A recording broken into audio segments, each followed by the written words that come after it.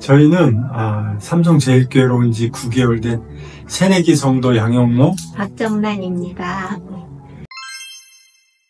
제 친구 소개로 삼성제일교회를 알게 되었고요. 4년 전서부터 인천에 있는 집과 또 전 직장 근무지였던 백령도에서 유튜브 통해서 말씀을 듣고 또 2년 동안은 분이엘 대학에 강의도 들었습니다. 예, 유튜브로 말씀을 듣다가 제가 알고 있던 그 말씀과 정등 목사님이 그 교리적이고 또 청교도적인 그 말씀 해석으로 옳게 판단되고 너무나 동의가 되어서 어, 다른 목사님들 설교 말씀이 잘 귀에 안 들어오더라고요. 그래서 삼성 제일교회에 한번 와보고 싶었고 또 와보게 돼서 거룩한 그 경건의 예배의 모습이 너무나도 아, 감명 깊었기 때문에 이렇게 선택하게 됐습니다.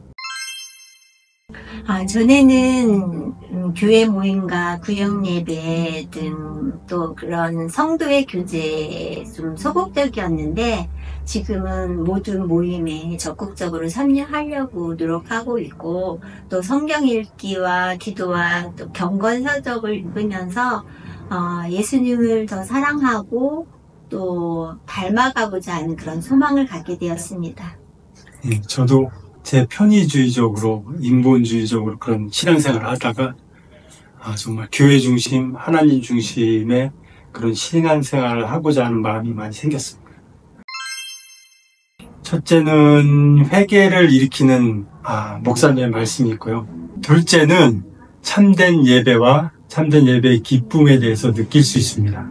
셋째는 어, 언제 이렇게 시간이 지냈지라고 할 만큼 재미있는 그리고 체계적인 성경 공부 시간이 있습니다. 넷째는 하나님 안에서 아, 성도의 사랑의 교제와 그리고 말씀 아, 나눔이 있는 구역 모임이 있습니다.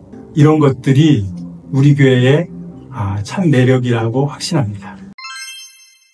아, 만약에 그 참된 진리를 찾아서 말씀을 듣고 계시다면 정말 아, 하나님을 매력적으로 아, 생각하게 하는 우리 삼성제일교회에 오셔서 저희와 함께 그, 그 매력에 푹 빠져보세요. 빠져보세요. 와.